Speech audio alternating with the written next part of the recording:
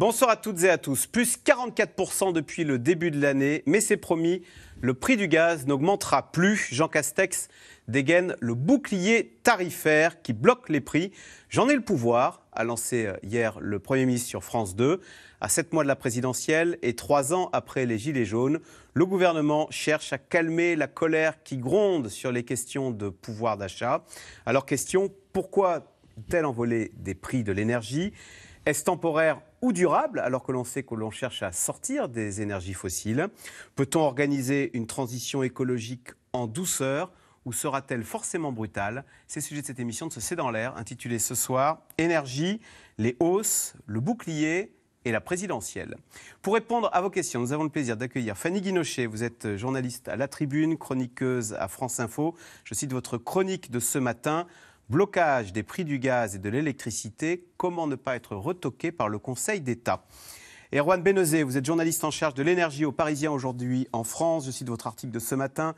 Prix de l'énergie, l'hiver sera moins rude que prévu. Mathieu Plane, économiste, directeur adjoint euh, du département analyse et prévision de l'OFCE. Citons le dernier rapport de l'OFCE, l'économie française repère 2022.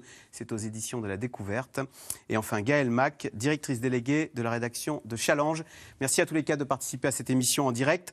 Erwan Benezet, avant d'aller sur le fond des annonces, d'abord sur la forme. Hier, on a été nombreux à être surpris par euh, Jean Castex qui dit à un moment je peux bloquer le- le- la hausse du prix du gaz, j'en ai le pouvoir.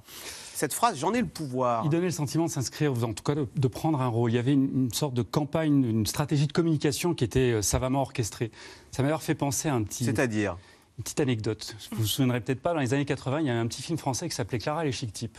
Thierry Lhermitte, euh, Josiane Balasco, Isabelle Adjani. Et à un moment, il y a une scène où il y a un type qui va emprunter à son copain euh, une camionnette. Et, donc, euh, il emprunte, le, type, il tient comme la prunelle de ses yeux. Quelques jours plus tard, il la ramène toute cabossée. Il ne sait pas comment lui dire. Et lui dit, et donc là, Ah, ma camionnette, ça va, tout va bien. Et lui dit, non, non, mais écoute, on a eu un problème, il y a eu un accident de voiture, tout le monde est mort. Oh mon Dieu, mais c'est horrible, qu'est-ce qui se passe? Et lui dit, non, non, allez, je plaisante. En fait, euh, il y a juste que de la tôle froissée. Ah, tu me rassures, non mais vraiment tu m'as fait très très peur. Eh ben c'est exactement ça que le gouvernement a fait et que Jean Castex a fait aux 20h de, de TF1. La méthode Clara et les. Exactement. Alors Au c'est début, quoi bah, le matin, Barbara Pompili, finalement, ça ne sera pas 10% euh, le 1er février pour l'électricité, ce sera 12%. Et puis euh, euh, cet hiver, ça ne sera pas plus 15% en novembre, mais plus 20%. Puis ça sera même encore plus 10% au mois de décembre, donc 30% d'augmentation sur le gaz d'ici la fin de l'année. Et là, tout le monde se dit, oh mon Dieu, c'est horrible, mais comment on va faire Ne vous inquiétez pas, allez, finalement... Je bloque tout, je gèle tout, 4% euh, sur euh, euh, l'électricité, et puis on 12. gèle le gaz. Non, 12%. Et puis alors, 12% le lendemain sur le gaz, mais après on gèle tout. Et là, tout le monde se dit, ouf, on a échappé Ah. au pire. Et voilà, ça passe. La méthode Clara et les. Exactement. adaptée au prix de l'énergie. Sauf que Fanny Guinochet, c'est vrai, euh, autant sur le prix de l'électricité, la hausse sera moindre que prévu. Mais en fait, sur le prix du gaz, le Premier ministre l'a bien expliqué, on ne va pas du tout réduire la facture, on va l'étaler dans le temps. C'est un peu un 4 fois sans frais qu'il nous a fait là. On, on va la, voilà, Hein? effectivement, on va la réduire au début, pendant l'hiver, là au, au moment où la hausse aurait dû être la plus élevée, mais elle va euh, moins baisser, si on peut dire, une fois que ce sera le printemps, parce que l'État va se récupérer. Donc il fait une avance de trésorerie quelque part. Il permet, euh, alors c'est pas neutre quand même pour les ménages, on va en parler ce soir, mais euh, quand vous avez une hausse euh, aussi importante, vous le montriez tout à l'heure, hein, Plus 44% déjà depuis le début de l'année. Là, vous dire que l'hiver, on allait avoir 30% sur le gaz, c'est énorme. Donc, effectivement, ça va être plafonné à 12. Mais en revanche, en avril, date importante au moment où il y a une élection présidentielle, en avril, normalement, on nous dit que les prix devraient baisser. Et là, ben, ils vont baisser peut-être un petit peu moins que prévu parce que le gouvernement va récupérer le différentiel, l'avance qu'il aura faite avant. D'accord, mais donc ça ne coûtera rien aux finances publiques. Ce ce n'est pas l'État qui, qui va payer la facture de gaz des particuliers. C'est ce qu'explique Jean Castex, qui dit c'est une opération nulle. En fait, c'est ce qui va permettre de passer l'hiver et de l'autre côté, eh bien, euh, euh, ça ne coûtera rien à l'État. Mais c'est un jeu de, de bonne taux, en fait. Euh, Ce qu'on ne paye pas maintenant, on le payera plus Le tard. consommateur paiera la hausse du gaz. D'accord, du coup, il n'y a pas l'accusation qu'on était en train de faire du gouvernement qui est en train de cramer la caisse, je reprends l'expression de Valérie Pécresse, Pécresse. pour euh, préparer la présidentielle. Là, en l'occurrence, c'est neutre pour les finances publiques. A priori, mais il bloque au moment où il y aura la présidentielle. Vous avez vu, la date d'avril, c'est quand même le moment où il y aura les, tours de scrutin. Ah bah ça, Mathieu Plane, c'est ce qu'a dit euh, Bruno Retailleau. Il dit euh, il bloque jusqu'en avril. Vous avez remarqué, les hausses, c'est pour après avril, c'est pour après la présidentielle. Il y a une lecture politique, évidemment, dans, dans ce calendrier qu'on peut avoir. Difficile de passer à côté de la lecture, effectivement. Euh, non, le, la question du timing, elle est extrêmement importante. C'est-à-dire qu'on on le voit, euh, le gouvernement a mis beaucoup, beaucoup d'argent pour sauver l'économie avec le quoi qu'il en coûte. Euh, l'économie repart plutôt bien, voire elle repart même très bien dans beaucoup de pays du monde, et c'est pour ça que la facture énergétique notamment remonte un peu partout, parce qu'il y a une demande très forte pour les matières premières. Et donc c'est vrai que c'est dans le rouage de cette reprise, d'un scénario plutôt favorable, euh, la question du pouvoir d'achat va remonter très vite avec euh, la facture énergétique. Parce que, On l'avait pas vu venir, ça. Bah, pas tellement, parce que c'est vrai que dans la grille de lecture, c'était la question, euh, déjà de maintenir le pouvoir d'achat pendant la crise, c'était déjà pas mal. La question des faillites, la question du chômage. Mais pas, j'allais dire, au contraire, on était dans un, un moment où le prix de l'énergie était très bas, au contraire. Et on ne pensait pas que ça allait remonter si vite. Et la volatilité du cours des matières premières se répercute très vite en fait sur le pouvoir d'achat et le budget à travers euh, les prix, euh, notamment de l'essence, d'électricité, etc. Euh, et donc c'est vrai que c'était pas facilement anticipable cette affaire-là. et vous voyez que finalement le gouvernement est assez vite démuni hein, face à ça, cette volatilité. Donc il y a juste des mesures transitoires qu'on peut trouver pour absorber le choc. Et il se trouve que le timing politique arrange plutôt cela. Donc effectivement, on voit la, sensibilité des ménages à ces prix-là. Euh, et puis, bien sûr, il y a en mémoire euh, la crise des Gilets jaunes euh, et, le, prix de l'essence. Donc, tout ça n'est pas anodin. effectivement, ça peut être neutre sur les finances publiques si derrière, il y a un effet de rattrapage mais qui veut dire qu'on va payer quand même à un moment donné, et surtout s'il y a une stabilisation des prix de l'énergie. Alors justement, Gaël Mac, c'est vrai que hier, le Premier ministre a dit, vous allez voir, à partir d'avril, les prix vont rebaisser, et donc ce qu'on ne paye pas maintenant, vous le payerez plus tard en avril quand les prix seront bas. On est bien sûr que le prix du gaz va rebaisser comme ça tranquillement On n'est pas, du tout sûr. Hein, on n'est pas du tout sûr. Je veux dire, les, prix du gaz sont quand même des prix qui sont vraiment liés aux marchés euh, internationaux. Et pourquoi ça flambe alors, là, ça a flambé parce qu'il y avait effectivement une réouverture un peu désordonnée de toutes les économies. Donc euh, il y avait euh, un, appel de, de demande. Et par ailleurs, c'est aussi à cause de la météo norvégienne. Voilà, alors. Alors, la météo norvégienne du gaz, il faut nous expliquer là. Donc, en Norvège, euh, qui est donc un pays. Euh, il y, a, deux pays qui fournissent le gaz, en fait, à l'Europe. C'est vraiment la Norvège et la Russie. Surtout la Russie, mais aussi la Norvège. Et en Norvège, eh ben, il y a eu un hiver assez rude et il n'y a surtout pas eu de vent cet été. Donc, il n'y a pas eu d'éoliennes qui ont fonctionné. Donc, les Norvégiens, ils ont utilisé leur gaz pour eux. Et donc, ils ont moins de capacité d'exportation pour l'Europe. Et quant à la Russie, la Russie fournit. Alors la Russie, ils ont vraiment des grosses réserves.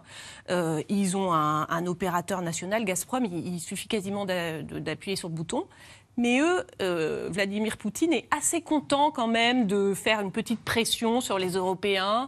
Donc ils ont fait les livraisons qui étaient demandées, mais livrer plus. Euh, Bon, il, Vladimir Poutine, dans le Kremlin, se réjouit de voir le gaz, il en attend, flamber faire et les monter les prix, voilà, faire monter les prix. Et puis, bon, ce, ce, pipeline Nord Stream euh, dont on attend encore une hein, autorisation, voilà, doit être relié à l'Europe, voilà, qui n'est pas encore ouvert. Court-circuiter l'Ukraine et on attend une autorisation de l'Allemagne. Et eh ben, ça serait bien qu'il ouvre. Enfin bon, donc il y, y, a un peu de jeu géopolitique de la part de la Russie. C'est jamais très satisfaisant, je trouve, pour l'Union européenne d'être dans les mains de Vladimir Poutine. Mais alors, le gaz aussi, on disait qu'on était en train de se passer des énergies fossiles. C'est-à-dire que le gaz, c'est une, euh, c'est une énergie qui, en ce moment, en Chine, est très consommée? C'est-à-dire qu'il y, a une bataille mondiale pour le gaz Oui, il y a une bataille mondiale complètement pour le gaz, parce qu'en fait, euh, le gaz, parmi les énergies fossiles, mauvaises, c'est la moins pire. Voilà. c'est-à-dire que bon, par rapport au, par rapport au charbon, qui était vraiment euh, la pire, donc euh, euh, elle, émet environ 40% de moins de, CO2 que le, que le charbon et environ 25 à 30% de moins que le fuel, le pétrole, le kérosène, enfin les énergies issues du pétrole. Donc du coup, toutes les grandes économies qui ne sont pas encore prêtes à passer totalement aux énergies renouvelables, se sont mises un peu au gaz en disant c'est le moins pire et dans notre lutte contre le réchauffement climatique, on va se mettre au gaz. Donc la Chine a fait ça. La Chine avait beaucoup de charbon, beaucoup de centrales à charbon. Elle est en train de passer vers le gaz. mais elle n'a pas de gaz. Donc, elle l'importe des États-Unis. Donc, euh, les États-Unis fournissent énormément de gaz à la Chine. Et l'Europe, qui a aussi du charbon, en, renonçant au charbon, eh ben, elle devient dépendante sur le plan du gaz, parce qu'elle n'a pas de gaz en dehors de la Norvège, qui n'est pas dans l'Union européenne, mais il n'y a pas de gaz en Europe. Donc, du coup, elle doit se fournir auprès de la Russie.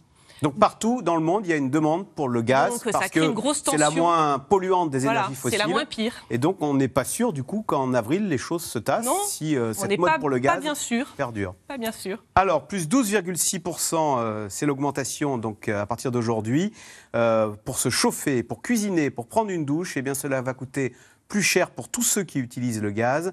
Une flambée continue depuis plusieurs mois que Jean Castex a voulu stopper en bloquant les prix du gaz jusqu'au printemps prochain. Annonce qualifiée d'électoraliste par la plupart des partis d'opposition. Sujet de Julien Launay, Magali Lacrose et Maxime Liogier. Les températures se sont rafraîchies et il peut y avoir la tentation de rallumer les radiateurs. Problème pour ceux qui se chauffent au gaz, c'est une dépense de plus en plus coûteuse. Voilà pourquoi ce retraité a changé de fournisseur l'an dernier en délaissant l'historique. Il a obtenu un prix fixe pour un temps limité, mais sa facture a été impactée malgré tout. Le fournisseur alternatif le moins cher du marché que j'ai trouvé l'année dernière fait que je paye quand même presque 30% de plus que l'année dernière. A une inquiétude parce que compte tenu de ce qui a été annoncé euh, récemment sur les hausses à venir à la fois du gaz et de l'électricité, euh, il est urgent de rechercher une fourniture la plus économique possible. Le gaz de plus en plus cher, avec un nouveau coup de chaud sur le tarif réglementé. Il vient d'augmenter de 12,6%, ce qui fait une hausse en cumulé depuis janvier de 57%. De quoi alourdir considérablement le budget d'un certain nombre de ménages. Hier soir à la télévision, le Premier ministre a voulu les rassurer avec une annonce nous allons bloquer, bloquer. Il n'y aura plus d'augmentation du prix du gaz, c'est-à-dire celles qui sont envisagées. J'ai ce pouvoir de par les textes et à partir d'avril, selon les experts, nous verrons bien comment ça évolue, le prix du gaz devrait dégringoler. Donc évidemment, la chute sera plus lente puisque nous répercuterons la hausse d'aujourd'hui sur la moindre chute d'après. Le tout, c'est que pour les consommateurs de gaz, il n'y ait pas cette hausse extrêmement forte qui est prévue. Un bouclier tarifaire pour faire face à la flambée. D'autant que le gaz n'est pas la seule préoccupation, car l'électricité devient elle aussi de plus en plus chère. Plus 12% début 2022 selon les prévisions, mais cette hausse va être plafonnée, comme l'a promis hier Jean Castex. Donc on va déposer très rapidement un amendement pour autoriser le gouvernement en fonction de la hausse qui sera constatée, de baisser à due concurrence euh, euh, l'augmentation. Alors, soyons très précis, il y a des, des coûts de production. Nous limiterons la hausse de l'électricité à 4%. Autre mesure envisagée, la revalorisation du chèque énergie pour plusieurs millions de foyers modestes. Dispositif créé après la crise des Gilets jaunes qui hante encore et toujours les esprits au sein du gouvernement. Le pouvoir d'achat problématique de taille à l'approche du scrutin présidentiel. Justement, pour l'opposition, ce n'est pas le président qui fait ses propositions, mais le candidat Macron. Il y a eu des manifestations gigantesques, d'accord, avec les gilets jaunes. Qu'a-t-il proposé? Rien. Voilà. La réalité, c'est que de manière pérenne, il ne propose rien. Ah, on s'approche de l'élection. Là, on ouvre le porte, monnaie le porte on fait des cadeaux euh, à droite, à gauche. Le plan Castex contre la hausse des prix, c'est simple. Vous lui donnez votre montre et il vous donne l'heure. Vous payez d'abord, ensuite vous paierez encore pareil. Calcul électoral ou pas, il s'agit surtout d'un mauvais calcul pour cette association de consommateurs. Selon elle, il y avait un meilleur levier pour atténuer les factures de gaz et d'électricité, la baisse de la TVA. Sur l'abonnement de gaz ou d'électricité, les consommateurs ont un taux réduit, il pèse 5,5%. Et sur la consommation de gaz et la consommation d'électricité, la TVA est de 20%. Donc il, s'agissait ici d'un levier important euh, que pouvait tout à fait légalement euh, mobiliser le, gouvernement. Ça a été fait notamment euh, en Espagne pour baisser de manière très importante la facture des consommateurs. Comment alléger la note des Français au quotidien? Au gaz et à l'électricité s'ajoute l'essence, car les prix à la pompe ont grimpé dernièrement. Nous sommes attentifs à cette situation, a simplement dit hier soir le Premier ministre. Alors, question téléspectateur euh, Erwan Benozé. Donc, on paiera demain, après les élections, ce qu'on ne paye pas aujourd'hui. C'est bien ça? Point d'interrogation. C'est Marie dans, en Haute-Garonne qui s'interroge. Alors, c'est totalement ça. On pourrait même penser, enfin, on pourrait penser qu'on paiera peut-être un peu moins cher puisque l'État qui devient presque un trader, hein, puisqu'il anticipe les évolutions de marché, euh, table sur une baisse des marchés. On peut penser qu'il a effectivement raison. Euh, il y a différents arguments qui, euh, qui vont dans ce sens-là. Euh, et donc, une fois que, une fois que l'hiver sera passé et que les marchés auront baissé, les factures seraient moins élevées. Sauf que ça va être étalé dans le temps, entre 12 et 18 mois. Et donc, effectivement, on paiera au moins exactement ce qu'on aurait dû payer aujourd'hui. C'est exactement comme quand on reçoit une facture qui est un peu trop chère et qu'on n'a pas forcément euh, les moyens, la fin de mois est difficile et qu'on demande un, étalement, un échelonnement de, de, notre, de notre dette, en fait. Mais là, on a quand même les 44% de hausse, ça c'est acquis. hein. Euh, le- Les plus de 12,80 ce matin, ils sont acquis. C'est là où je pense qu'on on- on va. euh, On est va- passé de 1000 à 1400. On hein. va parler de, de- de- de- de tout ce sujet, de savoir est-ce que la réponse, est-ce que cette réponse-là euh, du gouvernement, est-ce qu'elle est suffisante Euh, et, et- et voilà, pour moi, Alors, pour moi, elle est nécessaire, mais pas forcément suffisante. Fanny Guinochet, est-ce que l'État aurait dû baisser les taxes, je vais le dire, sur les énergies fossiles?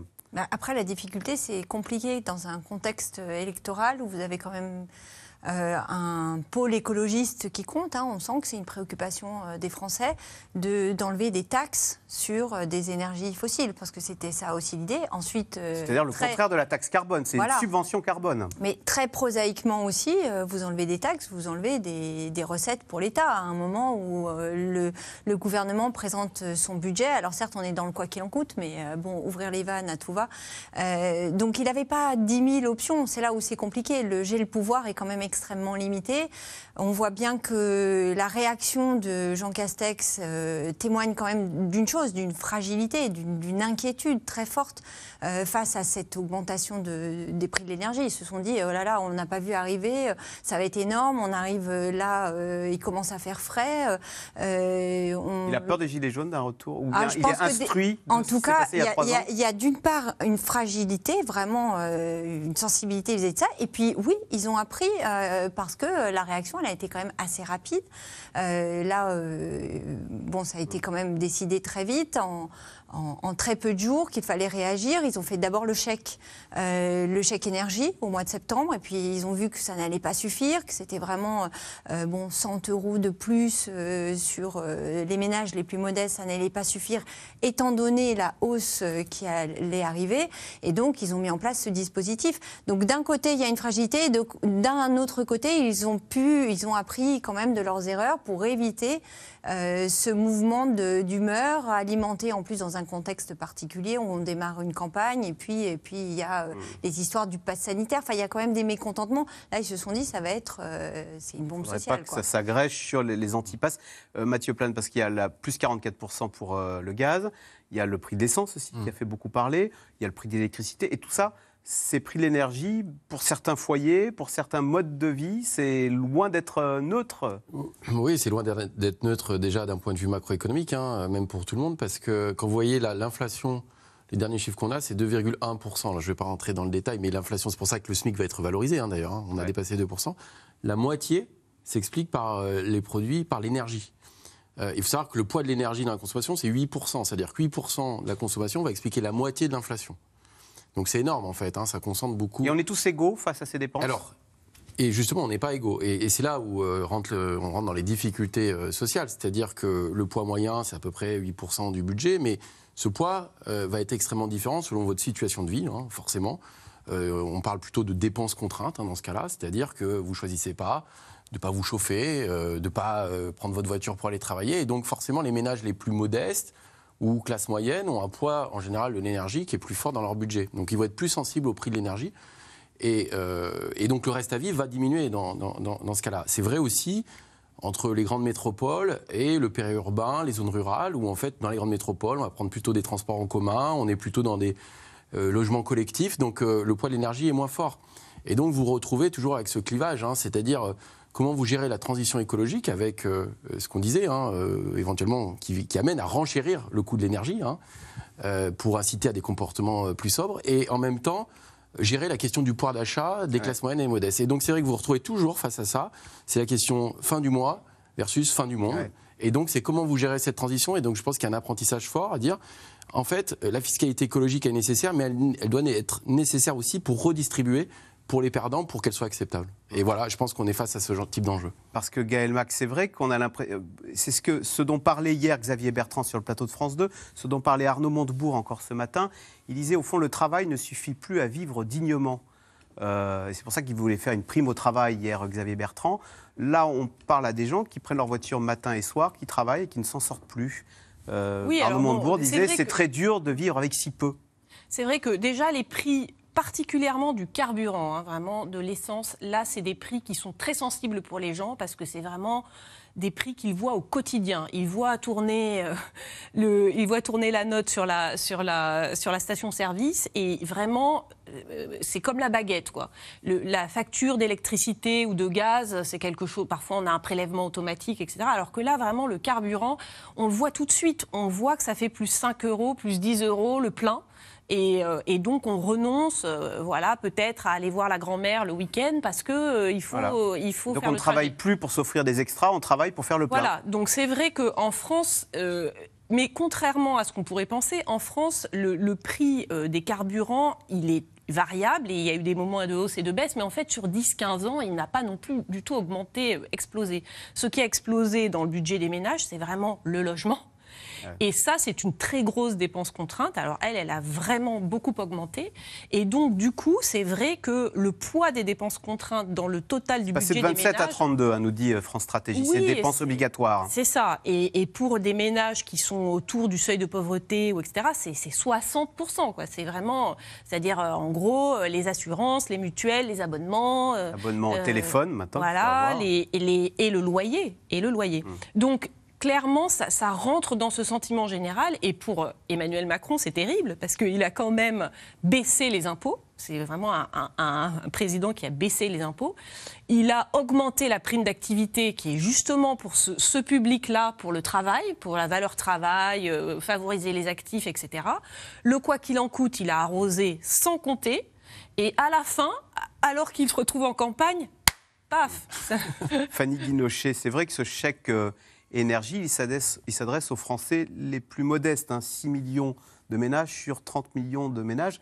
Mais on le voit, c'est la classe moyenne qui travaille, qui mmh. est impactée et qui se prend de plein fouet euh, cette hausse du prix de l'énergie et qui, euh, comme on le disait, ne, ne, peut plus vivre dignement de son travail. C'est ce qui avait allumé les Gilets jaunes Oui, bah, c'est effectivement le risque parce que euh, le, le, chèque énergie, certes, vous le touchez, mais vous avez l'impression que finalement, vu la hausse, euh, c'est peanuts, quoi. C'est rien du tout. C'est, euh, ça va vous passer, euh, ça va vous aider un mois, mais que le problème, il, se pose. Après, à la décharge du gouvernement, il y a quand même des efforts qui ont été faits pour essayer d'améliorer les logements des, Français. Alors, on part de loin. Hein. Il y a encore énormément de pour l'isolation, parce que c'est, ça le problème. On est très très loin sur ce. Mais quand même, ces dernières années, il y a eu des dispositifs qui ont été mis en place. Par exemple, ma prime rénov, ça fonctionne très bien. C'est une subvention euh, du gouvernement pour vous aider à faire des travaux chez vous, des travaux d'isolation de votre logement. Et euh, c'est vraiment, euh, vous pouvez avoir des travaux qui sont financés à 90% par l'État quand vous êtes un revenu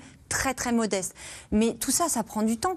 Là, ce que gère le gouvernement, cette crise, finalement, c'est un sujet qui va arriver, euh, qui arrive euh, dans la campagne, qui est quand même le sujet de cette transition énergétique que l'on n'a pas vraiment que l'on a pensé et puis qui a toujours resté assez conceptuel. Voilà. la taxe carbone. Là, sauf que oui, les gens, ils voient tous les jours quand ils rentrent chez eux qu'ils ont froid, que euh, c'est mal isolé, qu'ils vont faire le plein, ça leur coûte cher, qu'ils ont honte parce que pour les plus pauvres. Alors, euh, un logement mal isolé, c'est un logement où vous avez de la pourriture et que vous invitez pas les gens à venir. Donc, euh, ça casse aussi du lien. Donc, ça, c'est très, très prégnant. Et cette question-là, aujourd'hui, euh, elle est mise là sur le tapis pour la campagne présidentielle. Donc, on attend les propositions des candidats.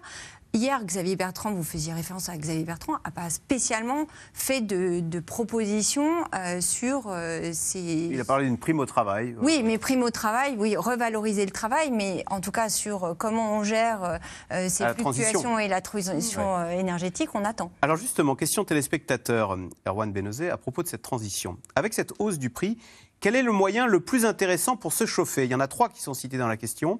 Le fuel, le gaz le charbon. Trois énergies fossiles. Alors le problème, c'est que le fuel, ça va être, les cuves à fuel vont être euh, interdites. Donc, euh, hop, on va passer à moins qu'on adopte le biofuel, le biofuel, mais pour l'instant, c'est pas, c'est pas encore dans les, dans la réglementation. Enfin, c'est pas acté.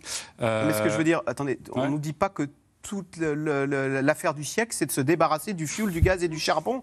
Euh, c'est Michel-Édouard Leclerc qui disait l'autre jour, il y a beaucoup d'hypocrisie dans, euh, dans, dans, dans, dans- dans tous les politiques parce qu'on on organise la fin des énergies fossiles et on s'étonne par la suite qu'on vienne à manquer d'énergie fossile, que ce soit d'essence ou de gaz.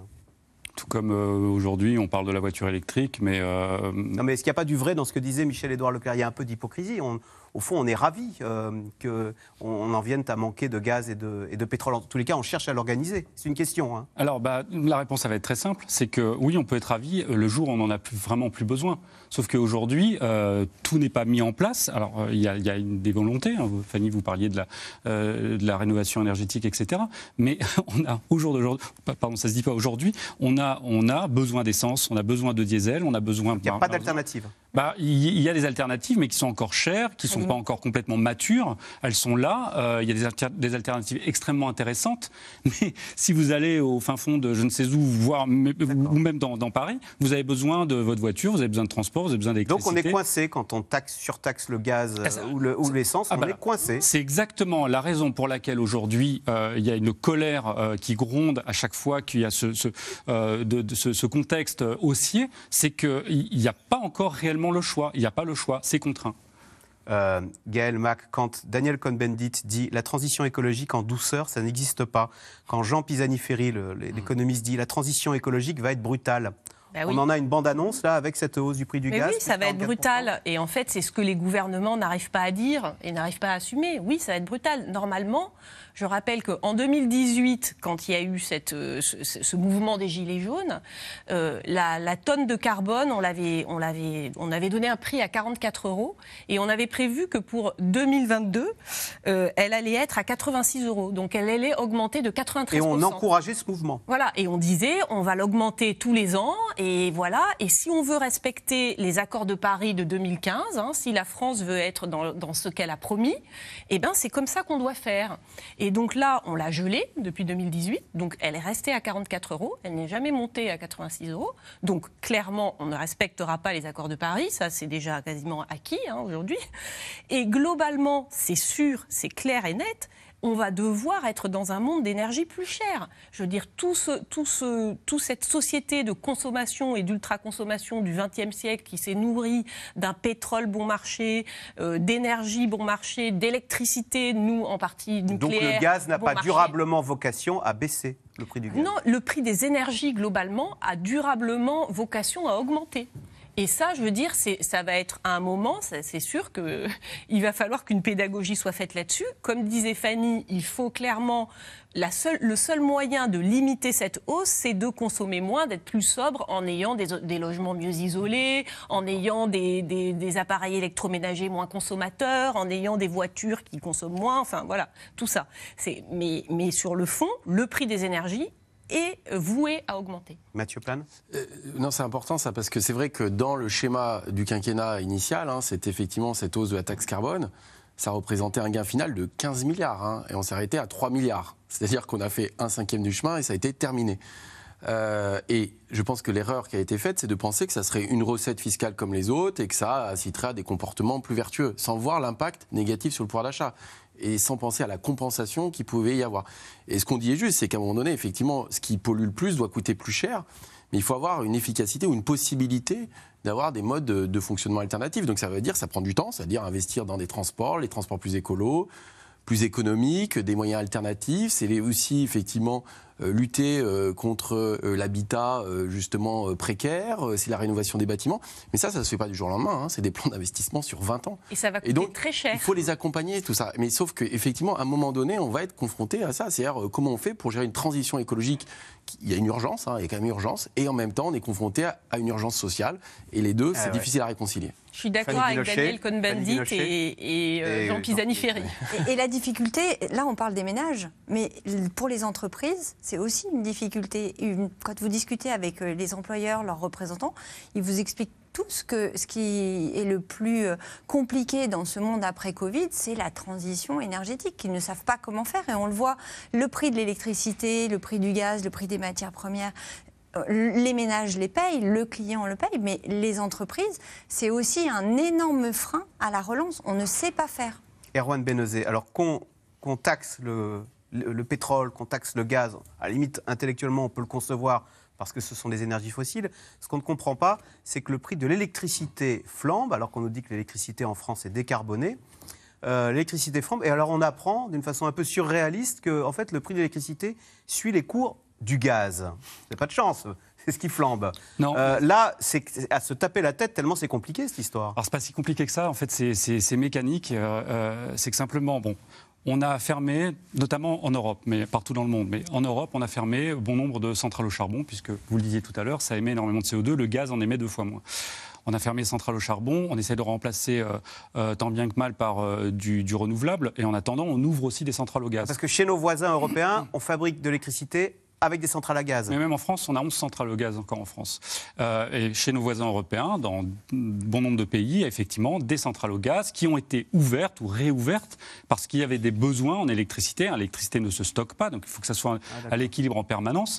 Et, et donc on a réouvert des centrales au gaz quand le, le, coût du gaz augmente, eh bien forcément, le coût de l'électricité. Si je veux acheter l'électricité, on est obligé d'ouvrir une centrale à gaz, et donc le propriétaire de cette centrale à gaz va dire eh bien, l'électricité s'étend et il va la caler sur le prix du gaz. Voilà, le, marché se cale, le prix du marché se cale sur la dernière centrale qui a été ouverte à un moment T, à un instant T, euh, pour euh, euh, que l'équilibre soit fait. Et donc, si c'est une centrale au gaz, ça sera le prix du gaz. Si c'est une centrale au charbon, ça sera le charbon. Ça Vous reconnaissez que, comme le dit Bruno Le Maire, c'est assez aberrant que nous payions notre électricité propre au prix du sale Alors oui et non, parce que euh, là, effectivement, on vit à un moment extraordinaire, mais globalement, cette organisation du marché nous aide quand même à certains moments à payer l'électricité moins cher qu'on ne la paierait si on n'était pas connecté à ce marché, et aussi à passer des moments difficiles, c'est-à-dire à éviter des blackouts, notamment l'hiver. C'est quand même ce qu'on disait, Gaël Macron veut bien arrêter le fossile, mais il faut qu'on ait une alternative propre abordable, c'est-à-dire euh, des voitures électriques pas chères et une électricité pas chère. Non, mais On a l'impression que rien n'a été fait hmm. pour euh, rendre attractif le monde d'après. Oui, mais pour l'électricité, il y, a effectivement, il y a quand même une exception française en Europe. Nous, euh, les, trois quarts de notre électricité est produite par des centrales nucléaires, et donc c'est vrai qu'on a l'habitude qui n'émettent pas de CO2 et qui sont, qui le prix du nucléaire aujourd'hui amorti n'est pas cher. Et donc c'est vrai que par solidarité européenne, on est sur ce marché de l'énergie européen euh, beaucoup d'autres pays voisins, eux, ont besoin du gaz. Et donc, notre prix de l'électricité, il est européen. Et donc, il, est, lié au gaz, sur le gaz. Alors que, bon, nous, si on avait un prix franco-français, bon, certainement qu'avec les centrales nucléaires, on s'en sortirait. Juste un euh, point, sur, pardon, sur le nucléaire, euh, et c'est vrai qu'il est amorti, vous avez totalement raison, sauf qu'il est amorti sur des centrales qui arrivent en fin de vie. donc, donc, il va falloir... On va parler du problème du renouvellement des centrales nucléaires. Mais donc, on voit bien, une fois de plus, le coupable, c'est le gaz le gaz qui monte, qui fait chauffer, qui fait euh, flamber notre facture de chauffage, mais même la facture d'électricité parce que le prix est européen. Alors pourquoi le gaz flambe-t-il autant? Eh bien, le comportement de la Russie, au-delà des autres questions, le comportement de la Russie, on en a parlé, pose question. Selon certains observateurs, Moscou limiterait volontairement ses approvisionnements en gaz pour des raisons purement géopolitiques. Voyez ces explications de Juliette Perrault, Barbara Steck et Arnaud Fora. Dans ce restaurant de Shenyang, au nord-est de la Chine, on se prépare à une journée sans électricité. Ce mercredi, les autorités ont décidé de couper le courant de 7h30 à 16h30, un casse-tête pour l'équipe en cuisine. On a acheté cette petite batterie de secours pour faire fonctionner les réchauds. Ça marche de la même façon qu'un générateur. La deuxième économie mondiale, comme débranchée. Dans les journaux télévisés, les mêmes scènes. Des habitants coincés dans les ascenseurs, des villes plongées dans le noir, des feux de circulation à l'arrêt. Pékin rationne l'électricité. En cause, le rebond de l'activité économique dans le pays qui fait grimper les prix de l'énergie. Résultat, la Chine importe massivement du gaz et contribue à l'envolée des courbes depuis le mois de mars. Mais derrière les effets de la reprise post-pandémie se joue aussi une bataille géopolitique. Au cœur de la diplomatie du gaz, la Russie, premier fournisseur de l'Europe. D'un point de vue énergétique, la Russie est une puissance extrêmement importante. La Russie produit beaucoup de gaz, on le sait, c'est la plus grosse, réserve de gaz, produit également beaucoup de pétrole et donc essaie de tabler sur ses ressources énergétiques pour retrouver une certaine domination. Aujourd'hui, le pays assure plus de 30% des importations de gaz de l'Union. Face à la hausse de la demande européenne, Gazprom, le géant du secteur, aurait donc dû logiquement augmenter ses exportations. Mais cette année, un sujet de discorde est venu tout perturber, le gazoduc Nord Stream 2. Gazprom est aujourd'hui accusé d'avoir limité ses approvisionnements pour pousser les Européens à accepter plus rapidement la mise en service du gazoduc. Le groupe dément, mais le porte-parole du Kremlin va dans ce sens. Il ne fait aucun doute que la mise en service la plus rapide possible de Nord Stream 2 équilibrera considérablement les paramètres de prix du gaz naturel en Europe. Un moyen de pression dénoncé fin septembre par l'Agence internationale de l'énergie, qui réclame une plus grande coopération de la Russie. Uh,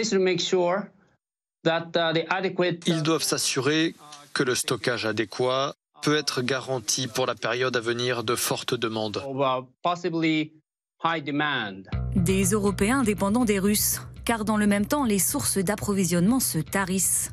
Aux Pays-Bas, par exemple, le gouvernement a décidé de mettre fin aux extractions sur le site de Roning, le plus grand gisement de gaz naturel de l'Union européenne. En cause, les secousses qui endommagent les habitations et la pression de la population locale, comme lors de cette manifestation en 2018. Le problème, c'est que le gaz rapporte beaucoup d'argent.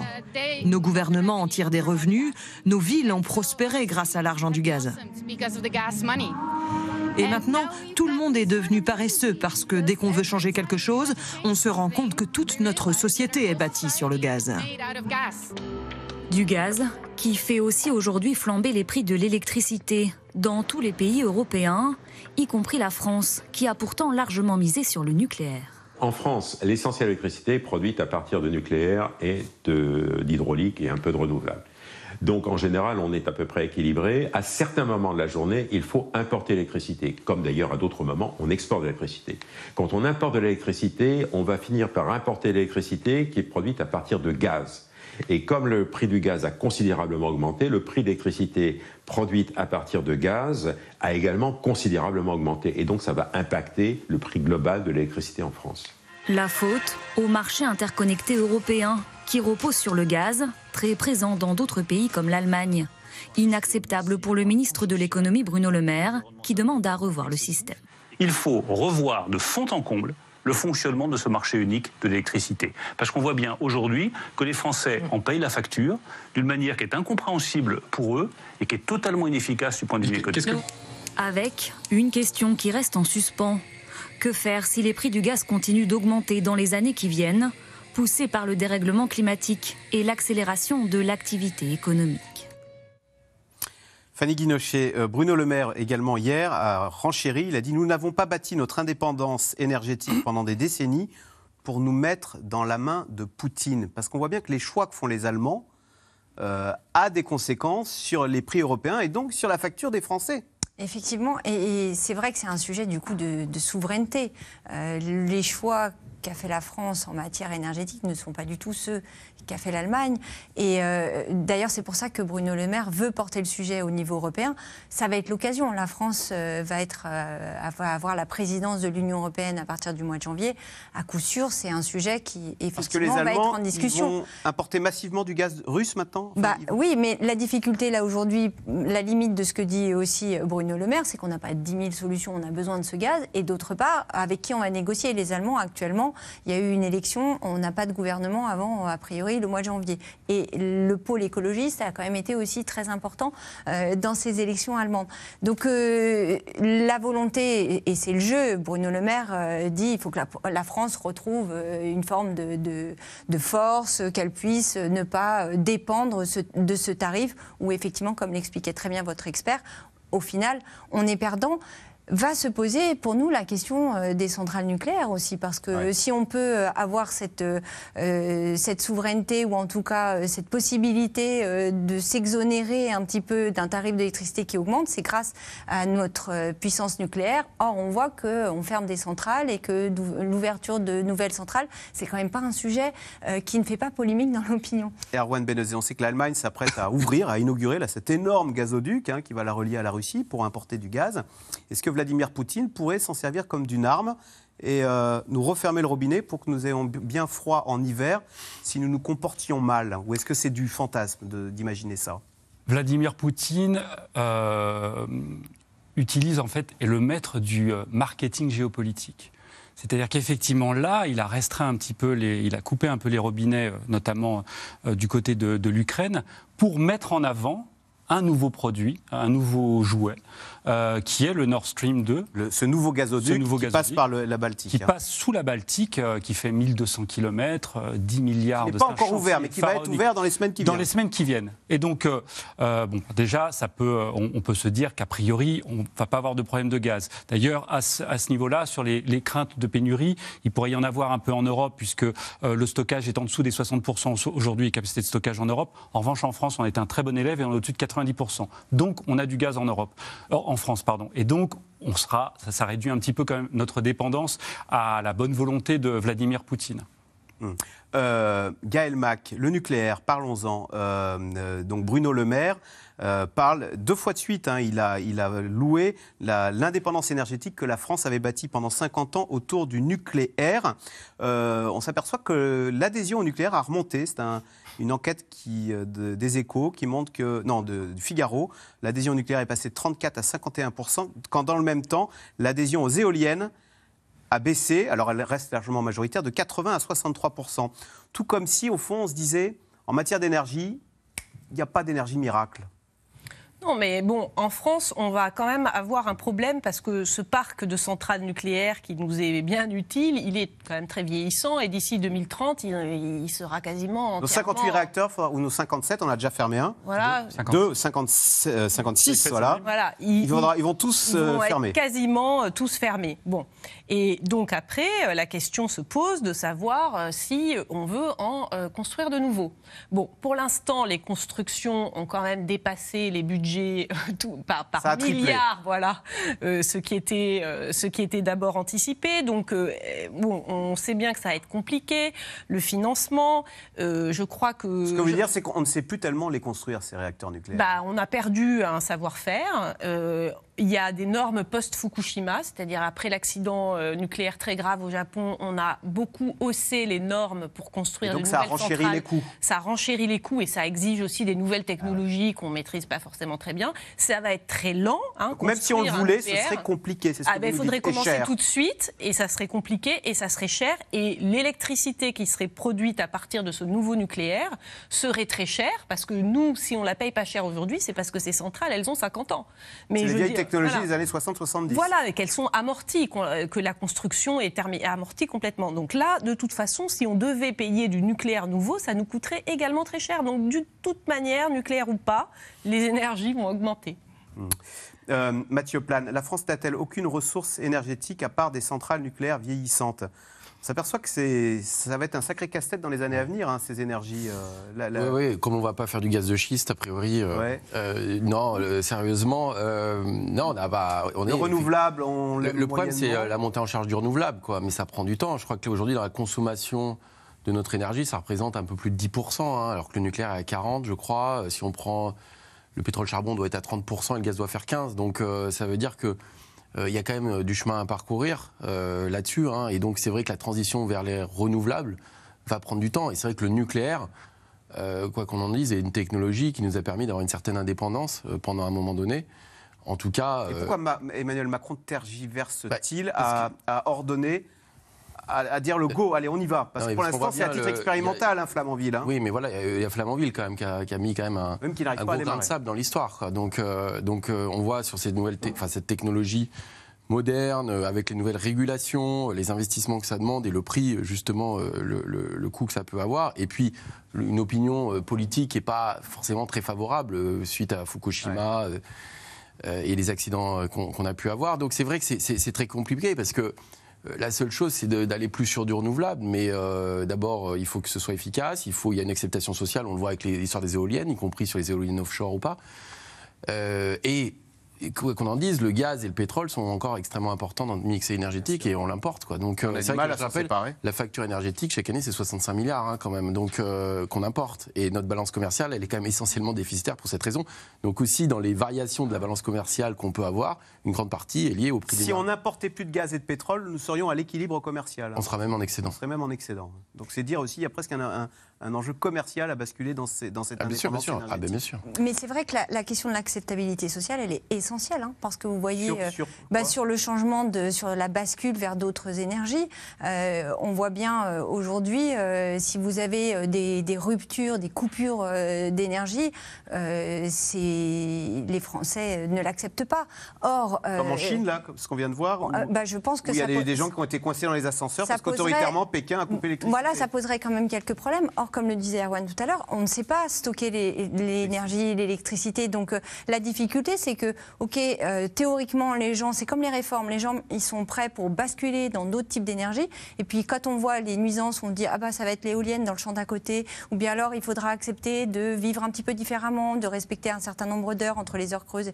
Là, vous n'avez pas vraiment envie que ça suive ou que ça vous touche. Donc c'est toute l'injonction contradictoire dans laquelle se trouve euh, le politique, notamment face à des choix comme on est tous pour la transition écologiste, mais quand il s'agit de passer au travail pratique, bah, bah, c'est plus difficile. C'est plus difficile. Alors, vous parliez euh, de l'acceptabilité sociale. Euh, je vous propose d'aller en Bretagne, où certains éleveurs, encouragés par l'État, ont décidé d'utiliser le lisier de leurs bêtes pour fabriquer du biogaz, donc une énergie.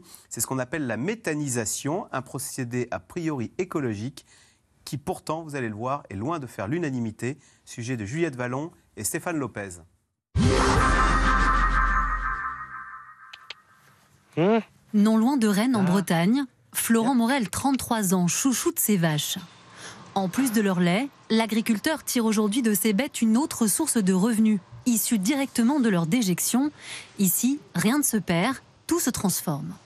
C'est un collecteur de lisier qui permet de collecter euh, le lisier dans tout le bâtiment en permanence toute la journée et restitue euh, le lisier dans le canal à l'autre bout pour être envoyé après euh, vers la méthanisation. La méthanisation, ou production de biogaz, se fait à quelques kilomètres de la Soucédôme, grâce au mélange réalisé entre le lisier bovin et d'autres résidus organiques. Une énergie renouvelable que revend ensuite Florent, associé à son frère Nicolas au réseau GRDF. Ils roulent même au biogaz et viennent d'inaugurer cette station-service pour leur consommation personnelle, une petite fierté. C'est pas magnifique, on roule avec le gaz qu'on produit et arrivé à la station, on n'a pas besoin de sortir la carte bancaire. Lancés dans la méthanisation en 2018, les frères Morel fournissent l'équivalent de 1600 foyers par an en gaz dans la commune voisine. Coût total de leur projet, près de 3,5 millions d'euros, financé à 15% par l'État. Un investissement qui leur assure enfin des revenus stables, mais pas seulement. C'est une fierté de défendre une économie circulaire. Et euh, même euh, par rapport à mes enfants, euh, c'est aussi de voir la continuité de, et de respecter l'environnement pour les années qui viennent et pour le futur. La méthanisation, une filière en plein essor ces dernières années, avec plus de 1000 sites répertoriés partout en France. Problème, la production de gaz vert est loin de faire l'unanimité, comme à l'entrée de cette commune de la Loire-Atlantique qui affiche clairement ses positions. Ce soir-là, des riverains, mobilisés depuis plusieurs mois contre un projet XXL en construction, se sont réunis pour organiser leur prochaine manifestation. Il faut vraiment mais pas, comprendre mais pas du tout. Il faut continuer le combat. Tous redoutent les odeurs et les risques de pollution de la Loire en cas d'accident. Et puis le, côté pas écologique du, projet. Euh, on a appris par hasard que l'usine allait être chauffée au bois et pas au gaz qui est produit, parce que le gaz rapporte plus à la revente. Donc on, va faire venir du bois de je ne sais où, mais on parle de 10 000 m3 de bois, euh, pour chauffer une usine qui produit du gaz. Enfin, il y, a des... Il y a des non-sens dans le projet. Pourtant, autour de la table, tout le monde pense que la méthanisation est une bonne idée sur le papier. C'est tout de suite euh, à grande échelle, sans réflexion, sans études sur le digestat, sans études sur l'agriculture. Et la complexité de notre époque fait que tout doit s'imbriquer. A la santé, il y a l'agriculture, il y a l'économie. Nous, on est bien conscient que c'est très complexe et que ça nous dépasse. La méthanisation, un sujet complexe. L'Allemagne, d'abord très enthousiaste, a d'ailleurs fait marche arrière. Mais pour le ministre français de l'Agriculture, croisé dans les allées du salon de l'élevage, pas question pour l'instant de reculer. Ne tombons pas dans une maladie française qui consisterait à dire parce que c'est difficile, parce qu'on a des enjeux, des enjeux, parce que parfois on a des problèmes et on en a vécu. À ce moment-là, faut tout jeter, faut tout arrêter. Des politiques, pas tous d'accord sur le sujet. Également présent ce jour-là, le vice-président de la région Bretagne. Lui a longtemps été favorable à la méthanisation avant d'en dénoncer les dérives. Je crois qu'on pousse à coup de crédit public, à coup de subvention, l'agriculteur vers une forme d'hypercapitalisation qui n'a pas de sens et qui va à l'encontre du développement de l'exploitation familiale. Promesse verte pour certains, fausse bonne idée pour d'autres. Alors quel avenir pour la méthanisation? Le Sénat, qui planche sur un rapport, devrait rendre sa copie avant la fin de l'année. Alors, question téléspectateur, euh, Erwan Benozé. Si la méthanisation n'a que des avantages, pourquoi cette technologie n'est-elle pas déjà plus amplement développée sur notre territoire? Parce que malheureusement, comme toute technologie, et notamment dans l'énergie, elle n'a pas que des avantages. Aucune technologie n'a que des avantages. Euh, l'éolien, on le voit aujourd'hui, pose un problème d'implantation. Le pardon, le offshore euh, d'acceptation des pêcheurs. La méthanisation, il peut y avoir des problèmes de, de, pollution. On l'avait vu à Châteaulin, dans le Finistère, en, 2010. 200 000 personnes avaient été privées d'eau potable pendant plusieurs jours. Euh, aucune, aucune, aucune solution n'est miracle. Et, en fait, à chaque fois, il faut peser le pour et le contre. Il faut effectivement gérer l'acceptation, c'est très important. Et il faut prendre euh, tout, le, tout le process dans, dans, sa, dans, dans sa globalité, que ce soit les éoliennes et leur implantation le recyclage, euh, les voitures électriques, le problème de, de la batterie. Euh, en fait, à chaque fois, et la méthanisation, c'est la même chose. Et puis il y a un, autre problème. Mais en fait, écoutez, on se dit c'est terrible. En fait, on n'est pas prêt à passer aux les énergies renouvelables. Vous avez l'air de dire ça marche pas tellement. Non, alors non, je dis pas ça parce qu'il y a, y a deux, trois points qu'on n'a pas encore abordés, mais sur le renouvelable, par exemple, l'intermittence, si on mettait 10, 5% de, de l'argent qu'on a mis et qu'on met encore, notamment dans le nucléaire, mais pas forcément que, y compris dans le fossile, dans la recherche du renouvelable, on pourrait assez rapidement gérer le problème de l'intermittence grâce... Quand il n'y a pas de vent, quand il n'y a pas de soleil, Exactement, l'intermittence, mais même le nucléaire est intermittent. Il y a des tas de réacteurs qui s'arrêtent euh, l'hiver ou qui sont... oui. oui, mais alors, alors aujourd'hui, euh, c'est de plus en plus prévisible. Mais juste les réseaux intelligents, le stockage. Tout à l'heure, on disait je, disais moi-même que ça ne se stocke pas. C'est à la fois vrai et pas vrai parce que il n'y a pas de solution industrielle rentable aujourd'hui, mais il y a des solutions technologiques et on n'est pas très loin de trouver, euh, euh, une, solution industrielle et donc de pouvoir répondre à tous ces problèmes et faire, par exemple, du renouvelable une énergie de base. Mais je vais reprendre la phrase de Jean Pisani-Ferry et, citer la fin de la phrase. Pourquoi il dit la transition écologique va être brutale, bien plus que l'on imaginait? On va voir, il va dire parce que les technologies ne sont pas mûres. Euh, en fait, le réchauffement, on va être pris de court par le réchauffement climatique et on n'aura pas bah, c'est le risque. Et, d'ailleurs, c'est pour ça qu'il y a des, une telle demande, ou en tout cas euh, que l'importance de la recherche est, essentielle. Euh, effectivement, on n'a peut-être ces dernières années pas pris conscience de l'ampleur et de la nécessité de mettre le coup de booster sur le développement de ces technologies. Là, on se réveille sur la batterie électrique, mais effectivement, on se dit la batterie électrique, c'est pas aussi simple. Quand on regarde, on nous, promet le gouvernement nous promet des giga, méga factories. Ok, sauf que comment on fabrique ces batteries? On fait on importe des métaux. Qu'est-ce qu'on fait après de ces batteries qui ne fonctionnent plus? Tout ça, ce sont des questions. Euh, on a l'impression qu'on apprend en, marchant, mais euh, de l'autre côté, euh, eh bien, on a un réchauffement climatique qui, se, qui augmente de façon très très vite. On l'a vu encore cette année avec tous les épisodes qu'on a pu avoir. Hein, nous dit. Et, Mathieu Plane, finalement, bah, on en est réduit parce qu'on est coincé, parce qu'on est dans l'impasse à faire ce chèque énergie qui est une subvention aux fossiles, encore un petit peu de fossiles parce qu'on n'est pas bah, prêt C'est pas un petit peu, c'est encore beaucoup de fossiles, hein, euh, surtout. Euh, d'abord euh, parce qu'on n'est pas prêt, parce qu'on voit qu'il y a une réticence forte. Et d'ailleurs, y compris sur les comportements de consommation, regardons sur les voitures. Hein. les voitures sont plus efficaces, mais elles sont plus grosses aussi. Hein. Donc on voit que le prix de l'énergie n'a pas été toujours si cher que ça. Au contraire, il y a eu des périodes où il a été même plutôt bas. Si on regarde historiquement, le poids a plutôt diminué. Et pour rejoindre justement cette transition, il y a la question de la technologie. Euh, et les investissements à réaliser, on a du retard, hein, et donc ça coûte cher. On le voit avec le plan hydrogène, hein, c'est intéressant, mais on voit que l'horizon, c'est à 2030, euh, premièrement. Et deuxièmement, il y a aussi la mise au rebut tout un capital productif, c'est-à-dire euh, qui serait euh, plus écolo, etc. Donc tout, alors sur le parc automobile, le transport, on voit très bien, hein, c'est euh, renouveler euh, du capital, donc c'est ça qui coûte cher. Ou dans l'industrie, effectivement, avoir euh, des équipements, des machines qui soient moins polluantes, mais ça coûte cher en fait. Et, et pendant longtemps, on a laissé croire qu'en fait, c'était double bénéfice en fait, euh, la transition écologique, que ça créerait la croissance, l'emploi, des recettes fiscales et tout le monde serait content. En fait, non, c'est des vrais choix euh, des choix de société, des choix économiques qui sont durs. des mais- usines qui ne valent plus rien, des Exactement. qui ne valent Et plus rien, il va des falloir accompagner ces changements perdues. parce qu'il y a des perdants là-dedans. Il y a des perdants, on les voit sur les ménages, on les voit sur certains secteurs industriels ou d'autres.